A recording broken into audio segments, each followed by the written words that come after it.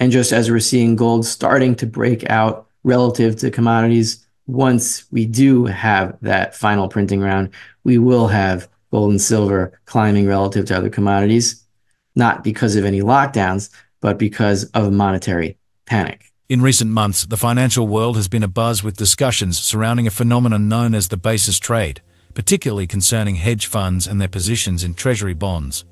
This trade, characterized by attempts to profit from seemingly small gains while risking significant losses, has drawn attention to the precarious state of the market, especially in two-year treasury bonds.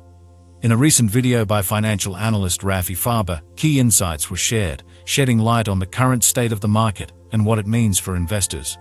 Let's delve into the expert analysis provided by Farber and understand the implications for investors and the broader financial landscape. Farber begins by highlighting the unprecedented levels of short positions taken by hedge funds in treasury bonds, particularly in two-year treasuries. These record short positions indicate an unstable market condition fraught with volatility. Farber warns that such extreme positions cannot be sustained indefinitely and may lead to disruptive events such as short squeezes or other market disturbances. Citing this instability, Farber advises caution, steering clear of Treasury investments amidst uncertain market conditions. Transitioning to the precious metals market, Farber discusses the gold to commodities ratio, emphasizing its significance as a proxy for the profitability of gold and silver miners. He points out that after years of trading within a range, the ratio is now poised to break above its 200-week moving average, signaling the onset of a major bull run for gold relative to other commodities. This shift, Farber suggests, could lead to increased profitability for miners and potentially pave the way for a similar uptrend in silver, mirroring historical patterns observed in the late 1970s. So the first thing I wanted to share here is that it was a few months ago when this basis trade thing became big news. Uh, there were worries that hedge funds were shorting too many bonds, trying to pick pennies from a steamroller is that the expression uh, and the amount of shorts in two-year treasuries is an estimation for how much how many shorts there are in the market generally so we have here a new record high in hedge fund shorts on treasury bonds two-year treasury bonds specifically we're at 1.831 million contracts short and a record long for i think these are I can't tell if that's red or green, but whatever it is, it's the other side of the trade. So a record short position in treasury bonds is a very unstable phenomenon and it can't last. Uh, we'll see how long this one lasts, but it's going to create a lot of uh, volatile trading conditions in treasuries. What we can definitely see here is that this is not a stable market and treasuries are going to be dangerous. Something is going to happen in the financial system to mess with their prices, short squeeze, something like that who knows? I'm staying out of it, and uh, I wouldn't touch treasuries with a uh, $35 trillion pull. Okay, now I've show I showed this chart two weeks ago. Something is happening here. This is gold relative to other commodities. It's important not to confuse a commodity bull market with a gold bull market. There's a reason that we are gold and silver stackers as opposed to, let's say, oil or natural gas stackers, though there could be natural gas stackers. I don't think that's particularly healthy. What we see here is the gold to commodities ratio, and basically it's been in a trading range since 2011, since the 2011 top here. And we see here that the bull market really began in 2008. This was the beginning of the destabilization of the financial system. It was stable over here, the gold to commodities ratio, pretty much until 2006. And then it started to move up, and then in 2008 it really moved up. Um, but since 2011, it's been in a trading range. And also, since uh, 2021, we've been below the 200 week moving average, but that is now finally changing, which is suggesting that we are on a major bull run of gold relative to other commodities. And this ratio is really uh, it's a proxy for the profit margins of gold and silver miners. So the higher this ratio goes, the more profitable miners are. If we zoom in here, we can see that we are right on the cusp of breaking the 200 week moving average for the first time since 2021. This is a very rare event in gold markets. The 200 week moving average is at 8.11 here, the red line we see, and we are at 8.10. We're just about to break it. Let's see how rare this is. Well, this has happened um, about three times since 2008 when the gold to commodities bull, bull market really started. So it happened once in 2014, at the end of 2014, and that looked like a gold bear market, but it was really a bull market relative to other commodities. It was a commodity bear market, but gold was falling much less. And here it happened again in 2019, though we had barely gone below the 200 moving average here. So if you want to count this, fine. If you don't want to count it, you don't have to. Uh, you know, technicals like this is more of an art than a science.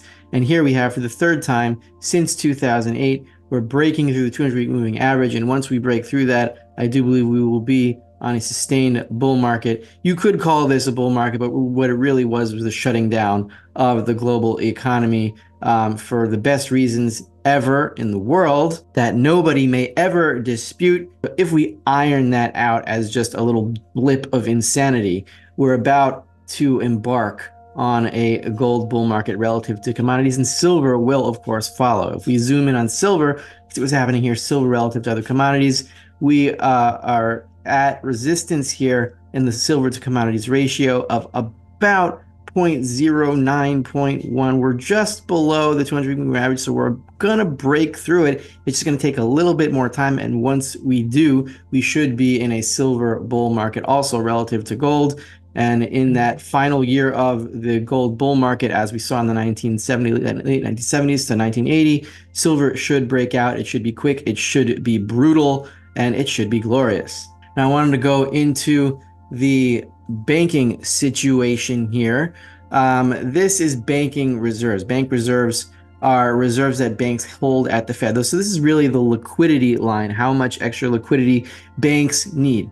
Now, the higher the, the pyramid goes, the more liquidity that there is in the system, the more liquidity that is needed because banks obviously make loans and therefore they need reserves uh, to cushion against those loans and they themselves go into debt. So the more reserves there are, the more reserves are needed, which is why I drew these two lines in. You see here, this is right before QE3 in 2012, and then QE3 brought us up to a, a new level of reserves just below 3 trillion.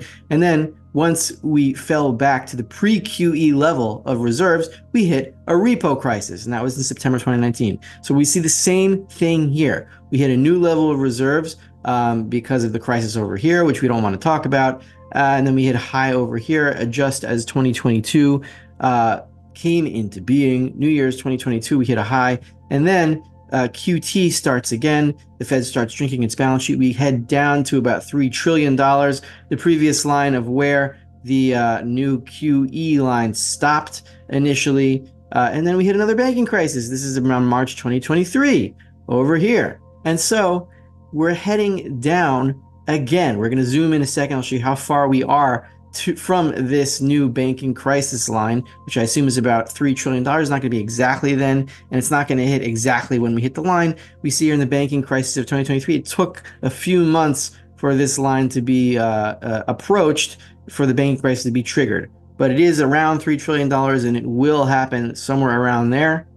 Uh, if we zoom in, we can see here we are at 3.25 trillion dollars. This number over here is about 3.585 if I remember correctly. So we're down about 330 billion dollars in the last three weeks. We could hit the crisis line anytime, and uh, there's no reason that we shouldn't because we're still in QE. And even though the Fed announced that it is slowing down QE, it is continuing. Sorry, QT.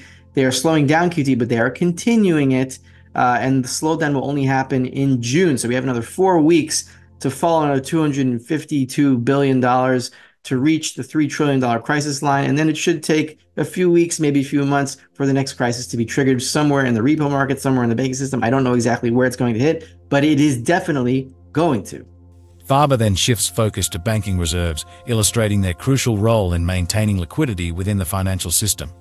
By analyzing historical data on reserve levels and their correlation with banking crises, Farber predicts a looming crisis triggered by declining reserves. He highlights the Federal Reserve's ongoing quantitative easing measures and warns that despite announced tapering, the continuation of QE poses a risk of exacerbating the crisis. Farber's analysis underscores the importance of monitoring reserve levels as a leading indicator of financial stability. Turning to government debt dynamics, Farber examines the shifting composition of debt issuance, noting a trend towards longer-term maturities.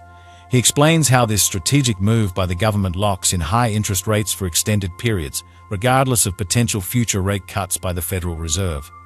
Farber emphasizes the implications of this debt restructuring on interest rate risk and cautions investors against overlooking its long-term consequences.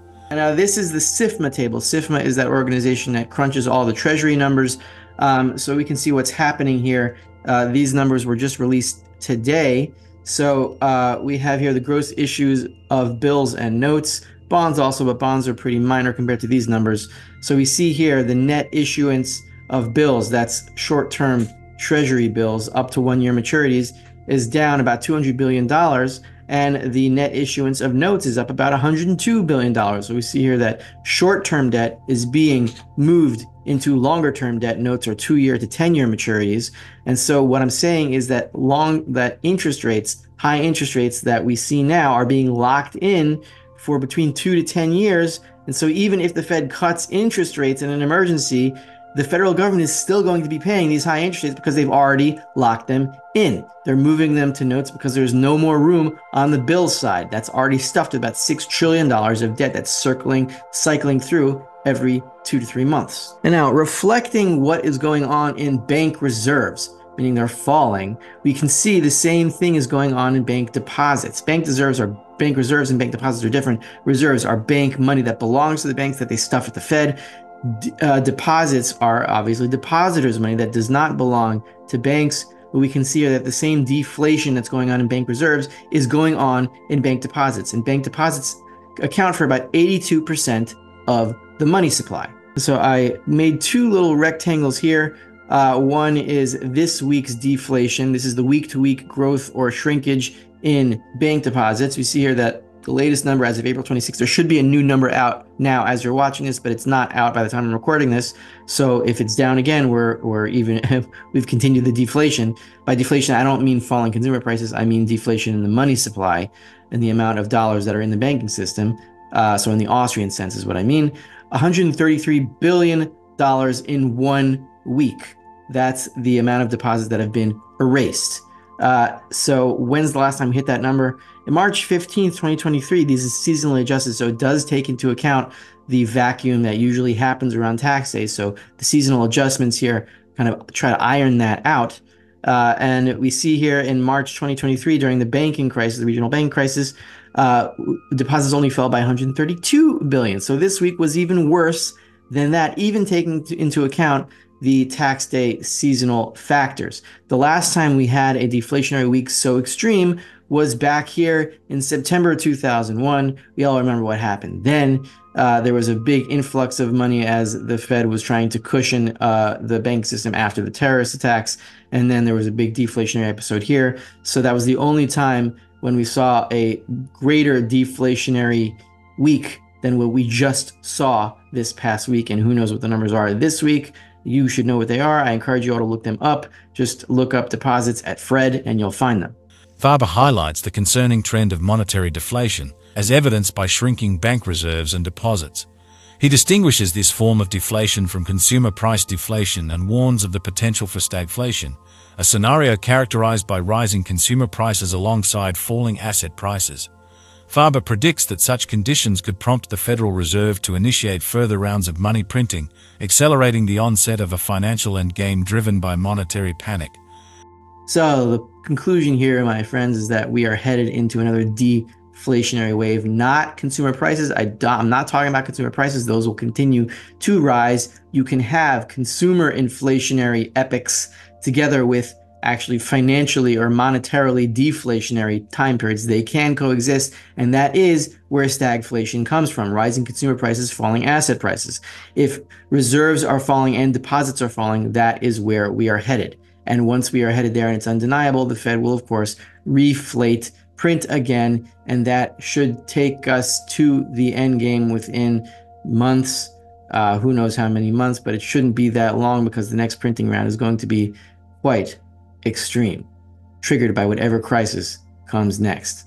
And just as we're seeing gold starting to break out relative to commodities, once we do have that final printing round, we will have gold and silver climbing relative to other commodities, not because of any lockdowns, but because of monetary panic.